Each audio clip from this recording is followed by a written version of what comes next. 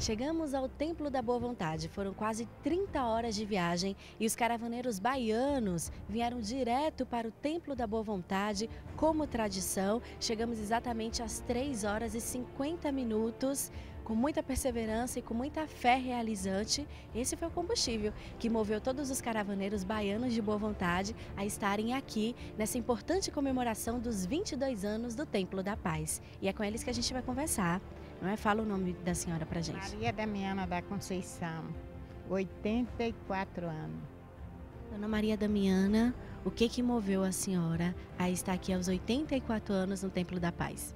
Moveu que eu vivo de moleta em casa, tudo que faço é moleta. E graças a Deus eu deixei a moleta e vim e vim pedir a Jesus aqui com muita fé. E graças a Deus eu estou ganhando, eu larguei, não estou sentindo. Estou bem, muito maravilhosa. Graças a Deus. De hoje em diante eu estou feliz porque Jesus já está me curando. Vai voltar renovada para Salvador. Vou nova, nova em dias.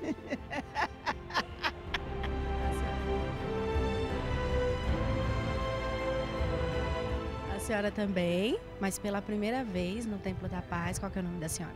Maria da Conceição da Silva. O que, que levou a senhora a enfrentar em quase 30 horas de viagem para estar aqui pela primeira vez?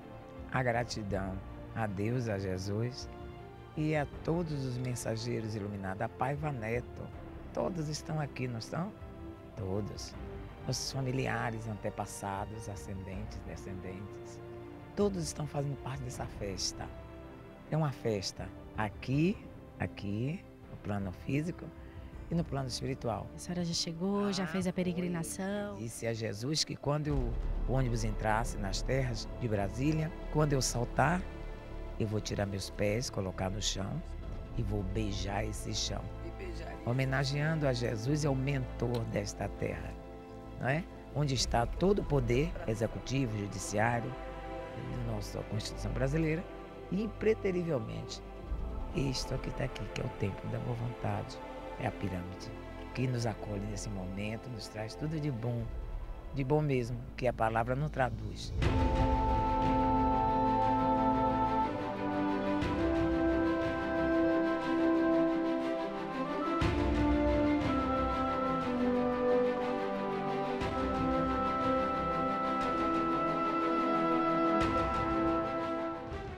É com grande emoção, é com grande satisfação que estou aqui é, pela quarta vez, como se fosse a primeira vez, porque é muito emocionante cada momento, é, cada vez que eu tenho essa oportunidade, que a oportunidade, quem se deu primeiro, quem deu primeiro a mim foi Jesus, e eu abracei.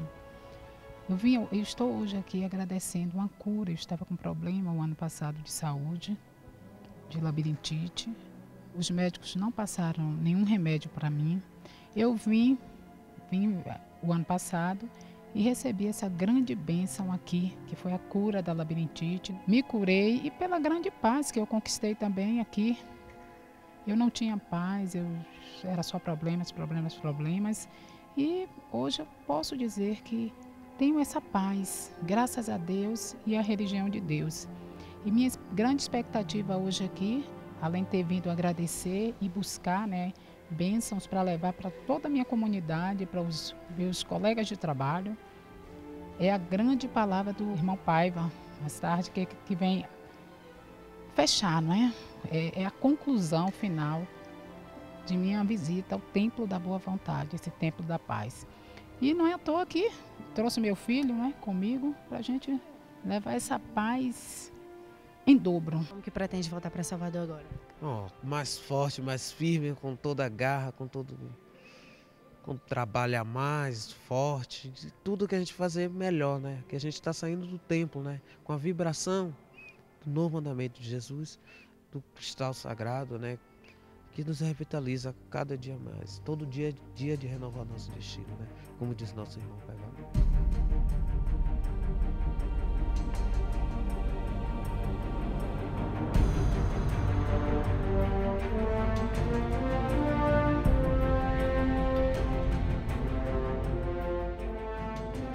Peregrinação continua, porque em todos os ambientes do Templo da Paz, o povo baiano já se encontra e a gente vai acompanhar essa peregrinação.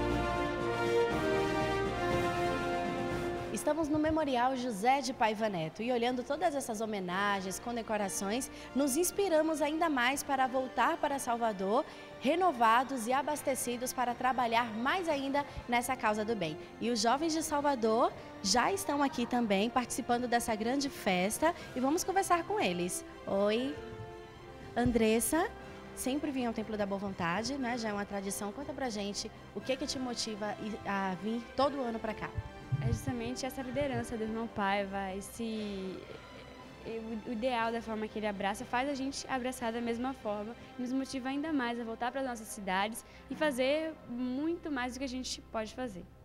Muito bem, vamos conversar com Tairone. Tairone, é a segunda vez que vem ao Templo da Boa Vontade? Isso, a segunda vez. E como que está sendo para você? Acabamos de chegar aqui no Templo da Paz, visitar os ambientes ao lado de toda a juventude, né? Jovens de todas as idades eu vim a segunda vez para renovar o meu ideal. É, sempre quando eu volto, eu volto com espírito assim de é, de humanidade, ajudar o próximo. Isso é muito bom para os jovens, essa questão da liderança do irmão Paiva. E isso empolga muito a gente para que a gente possa também ter esse espírito de liderança, de sempre vencer, sempre é, ajudando o próximo. Isso é muito bom também.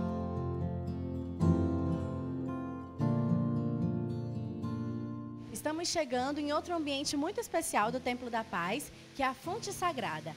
E nesse lugar, filas enormes se formam. Os peregrinos de todo o país vêm aqui buscar dessa água energizada do Templo da Paz. E aqui o povo baiano também está presente. Vamos conversar com alguns jovens que estão aqui. Oi, gente.